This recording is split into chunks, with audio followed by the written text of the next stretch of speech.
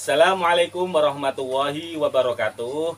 Berjumpa lagi di channel saya Om Dori. Tapi sebelumnya jangan lupa ya Ketik subscribe, like, komen, share. Nah, Di sini saya akan berbagi pengalaman tentang Bagaimana kolam ikan kita bau. Kolam ikan kita kenapa kok bau lah bagaimana cara mengatasinya? Kolam yang bau. Lah di sini ada E4 dan tetes tebu. Ini tidak lupa untuk pembudidaya ikan lele khususnya harus punya yang namanya E4 dan tetes tebu. Ini namanya E4 dan yang ini tetes tebu. Tentunya belinya di mana? Ya ini belinya di toko perikanan tempatnya toko perikanan ada. Terus bagaimana caranya membuatnya?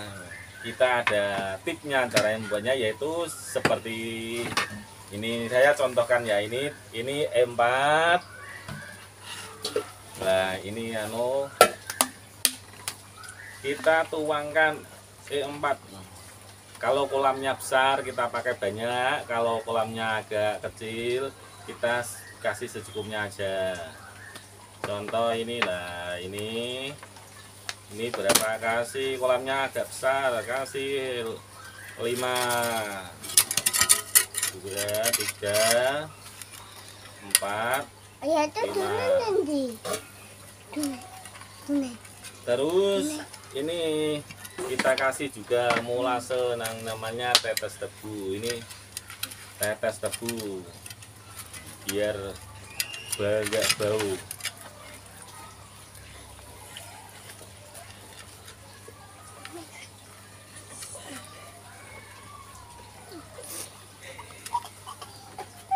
Udah lima. Terus kita kasih air. Kita kasih air secukupnya. Ini pemirsa. Kita kasih si air.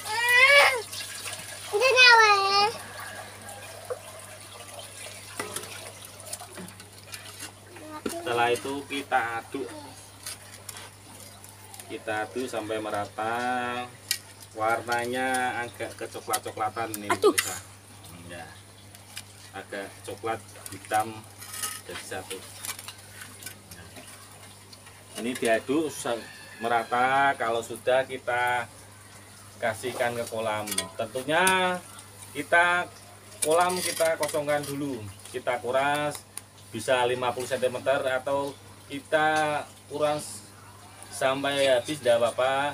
Untuk mengetahui di bawah ada kotoran yang mengendap atau ikan-ikan yang mati bisa langsung kita cek langsung kan di sini akan kita langsung masukkan kolam yang berbau ini nah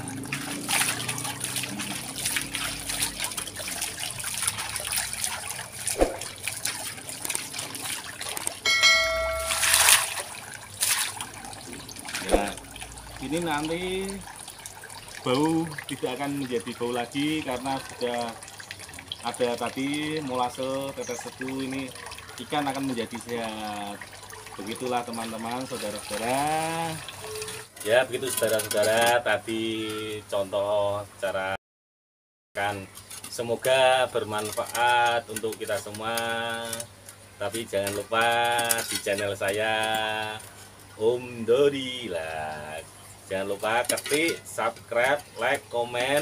Jika bermanfaat silahkan dibagikan kepada teman-teman atau saudara-saudara. Ya. kami dari saya mengucapkan banyak terima kasih. Wassalamualaikum warahmatullahi wabarakatuh